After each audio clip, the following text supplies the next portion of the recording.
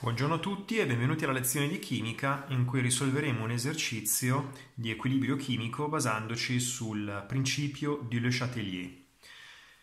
Abbiamo la seguente reazione chimica all'equilibrio in cui c'è dell'ossido di azoto che reagisce con diossigeno per formare diossido di azoto. Tutti, tutte le specie chimiche sono aeriformi. È instaurato l'equilibrio. Si sa anche che la reazione uh, è esotermica, in quanto la sua variazione di entalpia di reazione è negativa.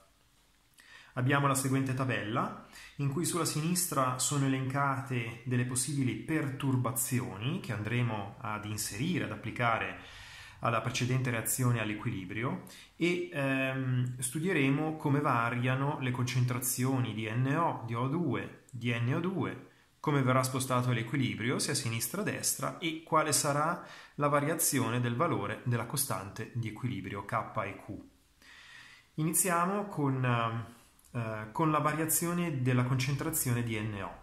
Allora, come detto, questa reazione è all'equilibrio e una volta raggiunto l'equilibrio, eh, immaginiamoci che tutto, tutte queste specie chimiche siano all'interno di un contenitore chiuso, sigillato, a quel punto, quando raggiunto l'equilibrio, andiamo ad aumentare la concentrazione di NO.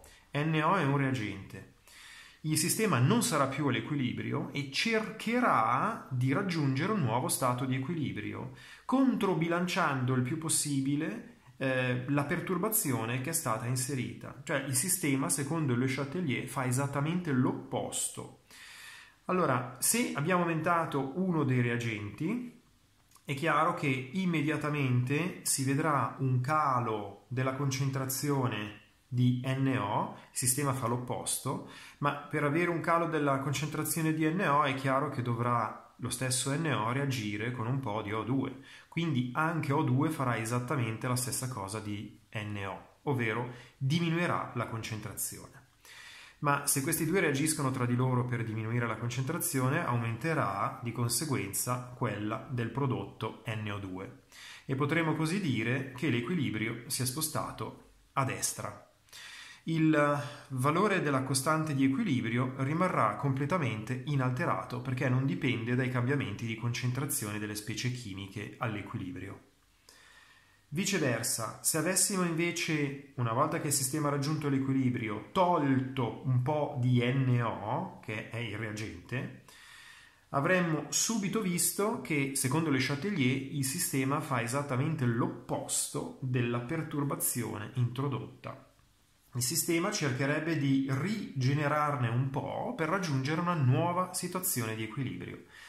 Ma rigenerare un po' di NO significa scassare un po' di NO2 a favore non solo di NO ma anche di O2. Quindi entrambe queste concentrazioni aumenterebbero a discapito della concentrazione di NO2 che invece diminuirebbe.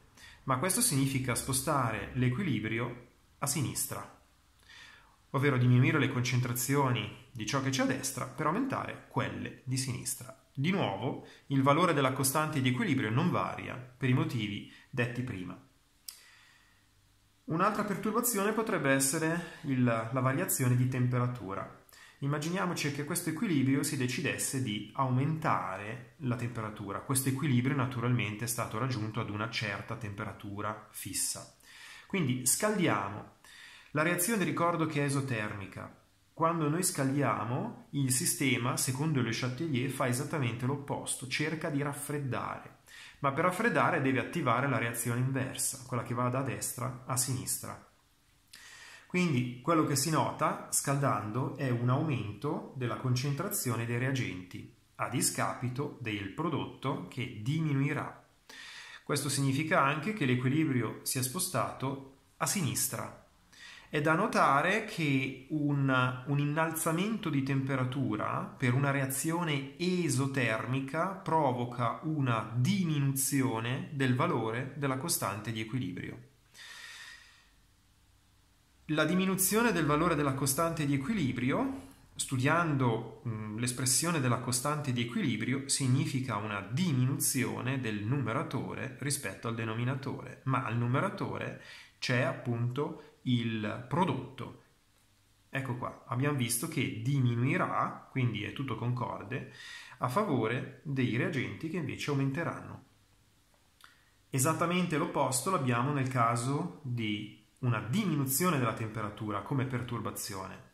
Se al sistema all'equilibrio diminuissimo la temperatura, la, il valore della costante di equilibrio per una reazione esotermica dovrebbe aumentare. Il sistema, secondo Le Chatelier, vorrebbe raggiungere un nuovo stato di equilibrio, facendo esattamente l'opposto della perturbazione introdotta, cioè vorrebbe quindi alzare la temperatura stessa. Per alzare la temperatura, visto che la reazione è esotermica, dovrà spostarsi a destra. Diminuire quindi la temperatura significa far sì che ci sia una diminuzione dei reagenti, un aumento del prodotto, perciò possiamo dire che l'equilibrio si è spostato a destra. Dire che l'equilibrio si è spostato a destra con un aumento della concentrazione del prodotto significa anche dire che il valore della costante di equilibrio, visto che è aumentato il numeratore, che è costituito dalla concentrazione molare del prodotto, dovrà aumentare. Un'altra perturbazione potrebbe essere quella di aumentare la concentrazione del prodotto. Quando aumentiamo la concentrazione del prodotto, il sistema cercherà di consumarlo, di consumarlo e quindi di diminuirne la concentrazione a favore dei reagenti che naturalmente aumenteranno. Il sistema, l'equilibrio, quindi si è spostato a sinistra. Questa perturbazione non ha nessuna incidenza sul valore della costante di equilibrio che rimane inalterato. Viceversa, se dovessimo togliere uno dei prodotti, il prodotto stesso, secondo il principio di Le Chatelier, dovrebbe essere ripristinato. Ma per formare ancora un po' di prodotto si devono, ehm, devono reagire un po' tra di loro i reagenti, quindi devono consumarsi in parte e la loro concentrazione dovrà perciò diminuire. In questo caso il, l'equilibrio si è spostato a destra. Di nuovo, nessuna variazione sulla costante di equilibrio, in quanto ricordo che la costante di equilibrio varia, dipende esclusivamente dalla temperatura, del, della variazione di temperatura, non dalle variazioni di concentrazione e neanche di pressione. Un'altra perturbazione potrebbe essere quella dall'aumento, data dall'aumento della pressione dovuta a una diminuzione del volume del sistema stesso. Infatti, eh, se diminuisce il volume, eh, cambieranno anche tutte le concentrazioni eh, delle specie chimiche coinvolte all'equilibrio. Se aumentiamo la pressione, visto che tutte le specie chimiche all'equilibrio sono aeriformi, il sistema stesso cercherà di diminuirla, secondo il principio di Le Chatelier. Per diminuirla, vediamo che a destra ci sono due molecole, coefficienti stechiometrici, per ogni tre molecole a sinistra, 2 più 1. Aumentare la pressione come perturbazione provocherà Uh, quindi un tentativo di diminuirla da parte della reazione chimica stessa al fine di raggiungere un nuovo stato di equilibrio. Per diminuirla il tutto si sposterà dalla parte dove ci sono meno molecole Perciò si osserverà un aumento della concentrazione del prodotto e una diminuzione della concentrazione dei reagenti. Si può anche dire che in questo caso il, il, l'equilibrio si è spostato a destra. Nessuna variazione per quanto concerne eh, la perturbazione della pressione sul valore della costante di equilibrio. Viceversa, aumentare il volume del sistema significa eh, diminuire le concentrazioni, ovvero diminuire ehm, la pressione. In questo caso abbiamo esattamente l'opposto di prima. Il sistema, secondo il principio di Le Chatelier, cerca di aumentare la pressione e quindi di formare dei reagenti. Più molecole, più urti nel microscopico, maggiore la pressione nel macroscopico. Il, l'equilibrio si sposterà per questo motivo a sinistra e si noterà un aumento dei reagenti a discapito del prodotto che diminuirà.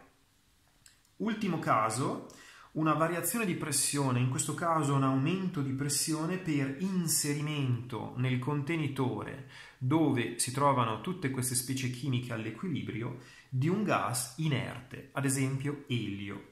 È vero che abbiamo un aumento di pressione, ma l'inserimento dell'elio non provoca una, un cambiamento delle concentrazioni delle specie. Se la variazione di pressione non provoca un cambiamento delle concentrazioni delle specie chimiche coinvolte nell'equilibrio, non avrà nessun tipo di influenza né sullo spostamento dell'equilibrio e quindi né sulla variazione delle concentrazioni delle specie all'equilibrio, né tantomeno sulla variazione della, del valore della costante di equilibrio. Eh, come possiamo notare, ripetiamo, i cambiamenti del valore della costante di equilibrio riguardano esclusivamente eh, perturbazioni inerenti alla temperatura, variazioni di temperatura, non quelle che riguardano le concentrazioni e neanche quelle che riguardano le pressioni. Spero che questo video vi sia stato di aiuto, grazie dell'ascolto e alla prossima!